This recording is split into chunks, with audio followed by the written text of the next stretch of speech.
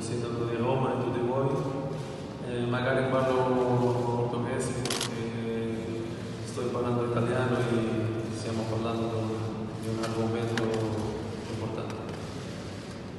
Eh, nós, como, como futebolistas, temos uma responsabilidade social eh, e a verdade é que todos nós que aqui estamos temos uma, uma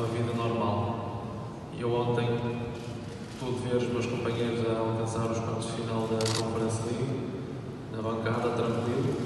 Eh, hoje da tarde vou, vou poder, poder treinar e preparar este, este grande jogo que vamos ter domingo, prepará-lo da melhor forma para, para o vencer. Eh, mas a verdade é que temos uma responsabilidade social muito importante e tudo que, o que pudermos dizer e fazer para dizer stop à guerra, temos essa obrigação, porque existem muitas pessoas a sofrer